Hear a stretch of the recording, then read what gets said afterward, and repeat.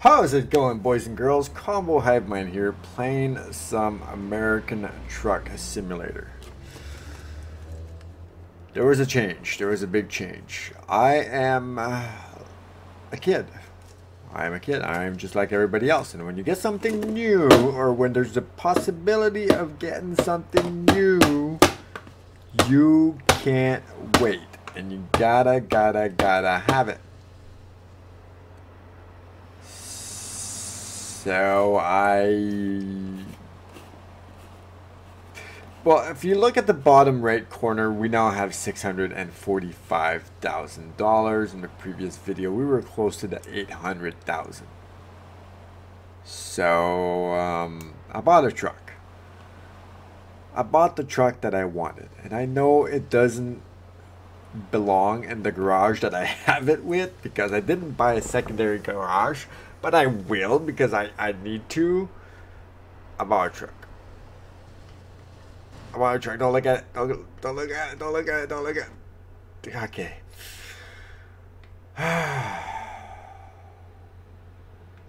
That's the truck, ladies and gentlemen. This is the new uh, truck, and and whoever did this truck actually um, did put a lot of work. Like to put the laptop there and the cooler there, and I put my wallet up there too. Um, I customized a little bit of the steering wheel.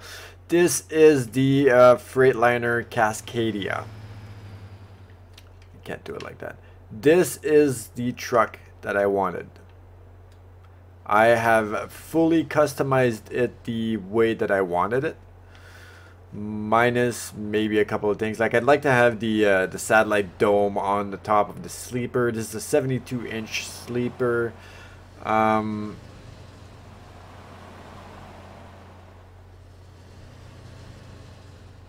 what? Hold on. I couldn't think of a name for this.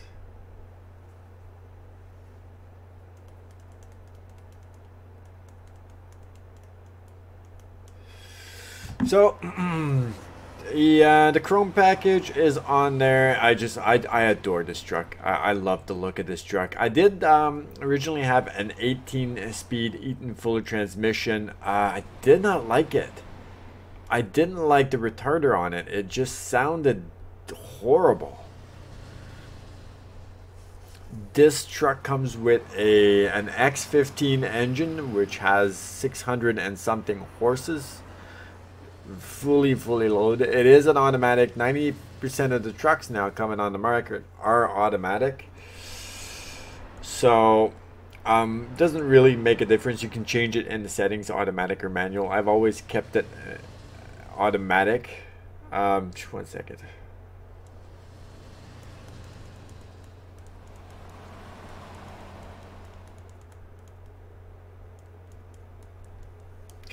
Alright, so anyway, this is the truck. Lights, I adore the lights. I customize the lights. There's actually a lot of customizations within uh, this truck that you can play with. And everything actually works super nice. I, I really like I like the, the Cascadia in the grill that actually lights up. So anyway, um, we got a load. We got a very short load. So the only thing that I don't like is in the dash now I don't have my fuel economy anymore. Uh, not sure where it would be in the middle of the dash. I'm looking at where the GPS is. It's not there anymore. So I'm relying on the uh, navigation again for it. So anyway, we got a load to go pick up. So let's go pick up the load and uh, let you guys see what the truck looks like and what it sounds like really. It's got a lot of power. It's got a lot of power. It's torqued for um, heavy haul. So I did customize it for heavy hauling. Again. See me, it's the high RPM like that. The other one would constantly do that. See, this one's doing it too. Not a big fan of that. Not gonna lie. Turning radius seems better. I, did, I, I took a little bit of a drive with it. I didn't go too far with it.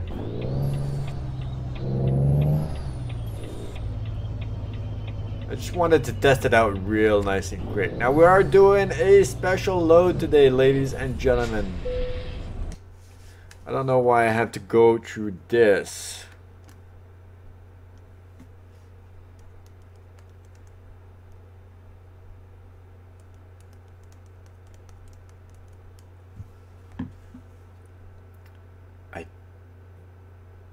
I'm pretty sure it was the freight market. Yeah, it was this one. So we were doing this. From Fresno to Bakersfield, GPS is activated. Huge tires. And uh, this is going to be towards one of our achievements. So the huge, no, the huge tires is actually one. It doesn't belong with the other one, which is a machine that is split in like three. I don't think so anyway. Trucks, tanks were retrofit. Okay, it's one of these.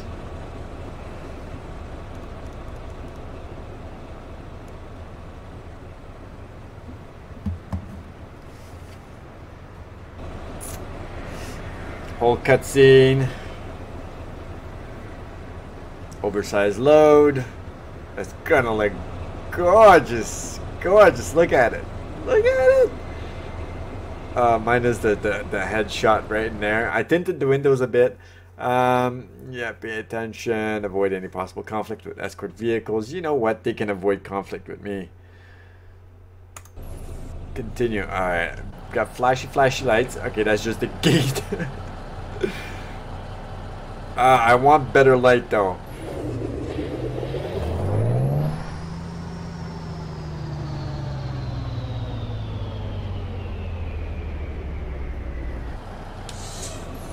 Uh, see if the goddamn green logos weren't there. That would have been awesome with the logo of the company on there. Okay, let's uh, let's grab it as we do a turn. There you go. Like I said, now this truck is going to be like double the power that we had before. Not enough light. I don't like it.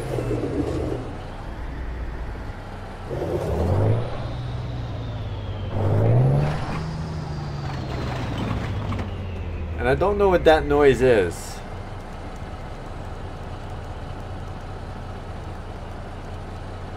It's been doing that a lot. I'm thinking it's just like the skirts rubbing or something. You know what? Uh, can I rotate just a bit like this?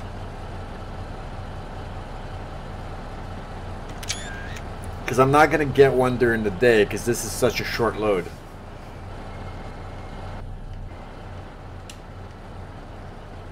Where's my end cap? There you go. Alright. Let's see what kind of balls this truck actually does have.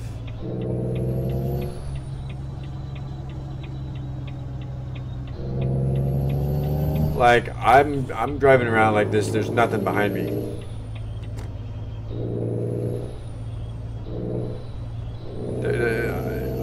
There's nothing behind me. I don't, I don't really feel it. This guy's lane braking. This traffic should have been stopped.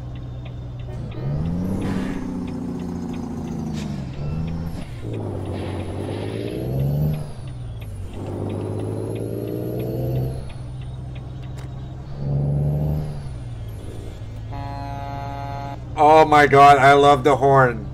Oh my god, I love the horn. What are you doing?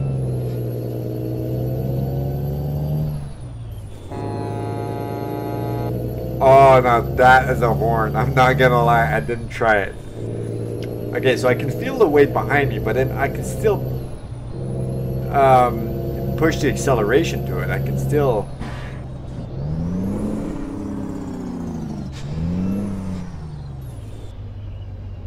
catch some speed. Why are we stopping at a red light? Why? What, what's going on here?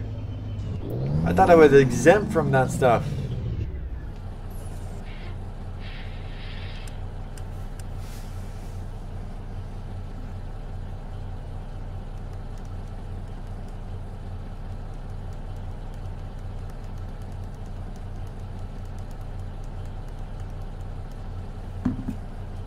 We good? Alright. So this is a 14 speed transmission. Uh, I shift, no shifter on the ground. It's it's good. Like the only thing I didn't like about the 18 speed is that every time I activated the retarder, the um, the RPM would just rev exactly like that. And I, I don't know, I just it, that don't sound right.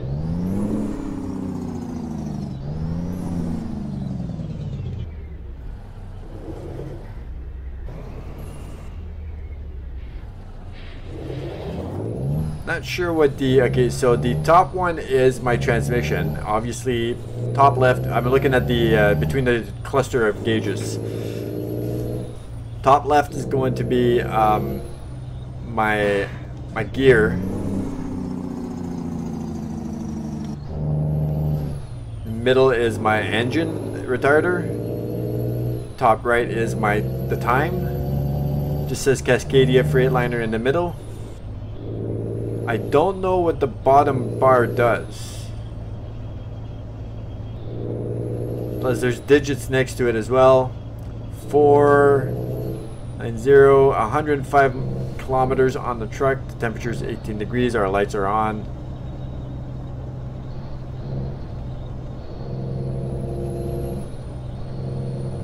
I'm sad that I miss that I miss. I'm sad that I don't have the um, the fuel anymore in my main dash, like in, in the console. GPS style thingamabobber.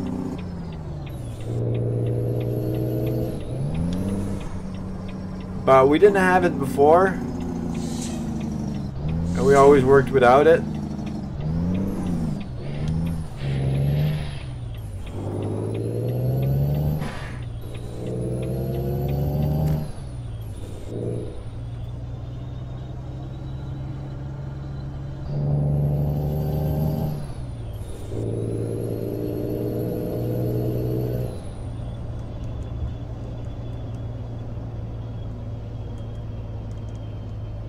Why is my cruise not working?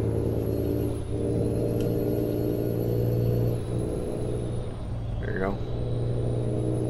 I don't think we're going any faster than this.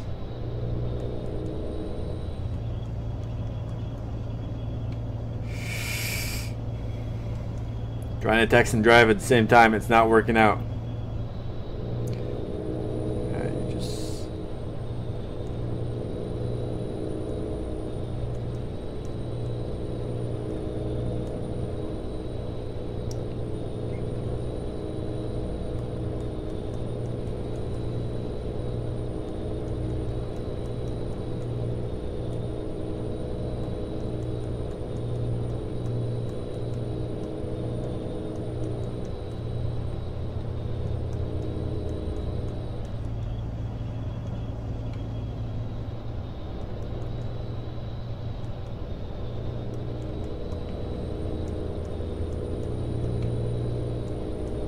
Sorry about this, boys and girls.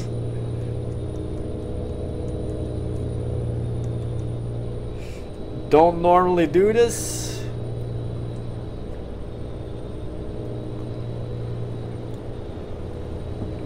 I was just super excited to um, get the truck out on the road today. Unfortunately, it's dark. It's 3:44 in the morning. Uh, we got an hour and 20. Uh, maybe, maybe, maybe we're gonna hit some light. Daylight. Maybe. I doubt it. Well, it's gonna be around 5 o'clock in the morning.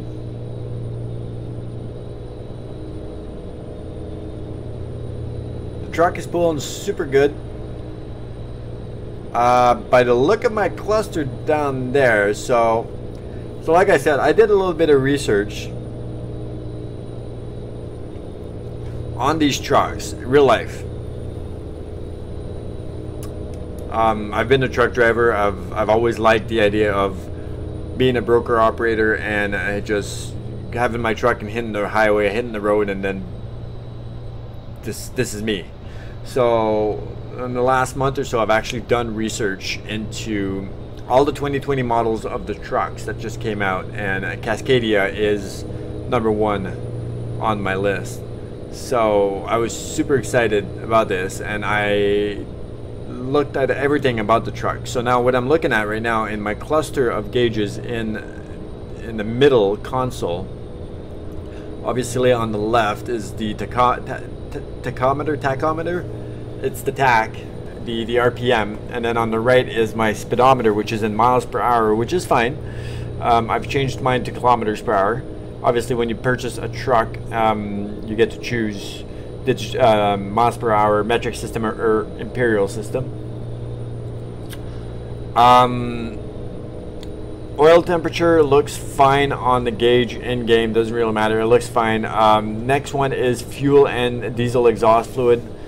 Uh, my fuel tank is full, so once my fuel tank starts going down, I'm gonna judge and see if the gauge actually goes down as well. This is a good little test right here, and it worked like a goddamn charm. Now, the one next over, though, right below my speedometer. So the speedometer is the one on the right, close to my um, steering knob.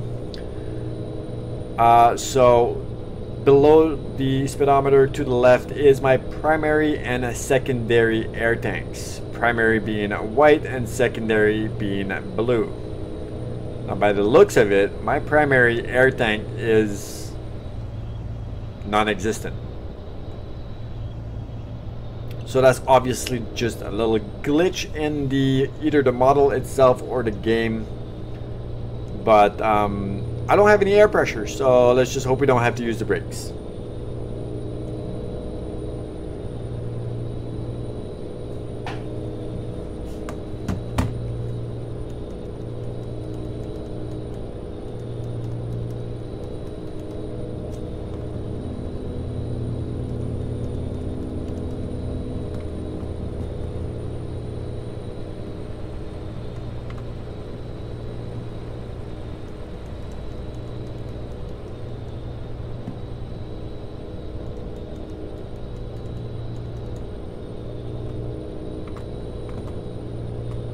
Come on.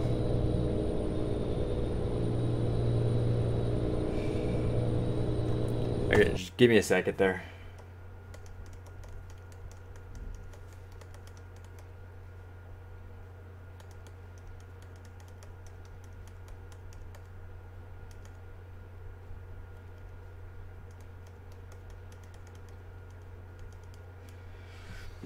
Gonna be the last one until this load is complete getting to be annoying. 36 kilometers. Just uh, something a little bit important going on, so I just want to focus on, that as well. But I get, like I said, I just I wanted I, I needed this truck to be. It's uh, it's it's 11 o'clock at night anyway, and I'll be recording a lot tonight countless hours. Like, I don't know why we're only doing 60 anyway. Like, I know this is a big load and all, and we are getting some, some, uh, some daylight. That's, that truck's got a good sounding engine. I'll give it that.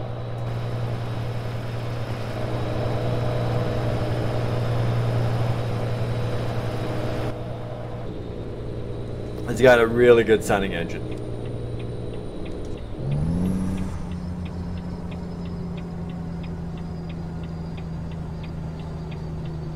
Alright, let's see how we do it up here. Is a tiny little hill.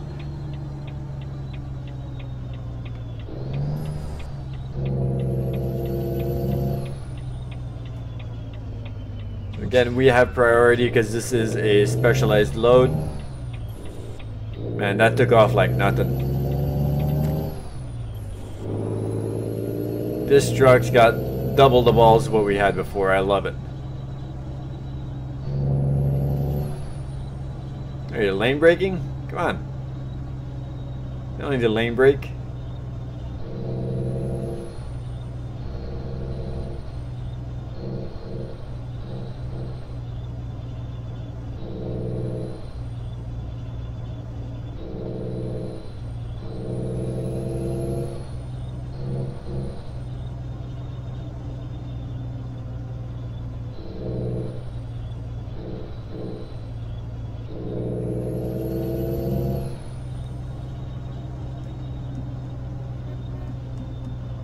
Beep beep to yourself. Hold on, hold on.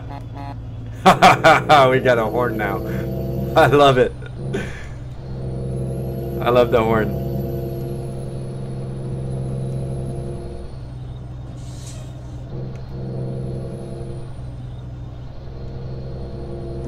I love it. I really love it.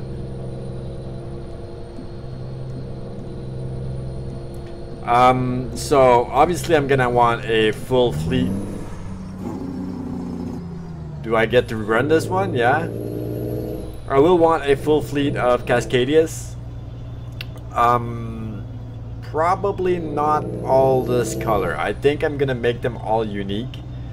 Um, this one will be mine. I've already transferred myself from my truck onto this one. Uh, so I will be hiring somebody new because now I have I do have three trucks. Um, I'll hire somebody new, but I need to purchase a secondary garage as well. So I can keep the Cascadias on a different garage. See the RPM going that high, I I've driven trucks before and the RPM don't go that high. It does, but it shouldn't.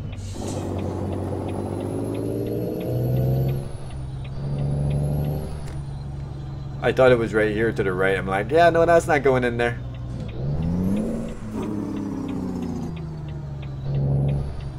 Okay, now these you don't get... Oh yeah, you do get the option to park them. Hold on, hold the phone. Before you guys get your load, I want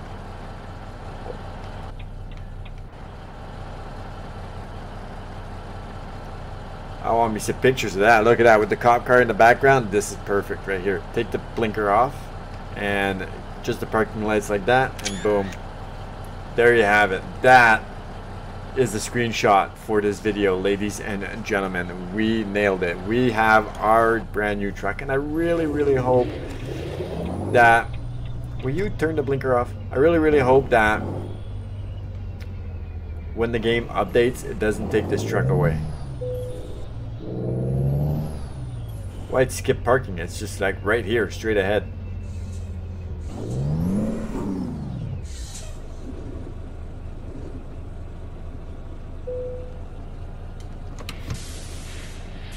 Boom, uncouple. And we did it. I think I like it 30 out of 50. Big in America, 4 out of 11.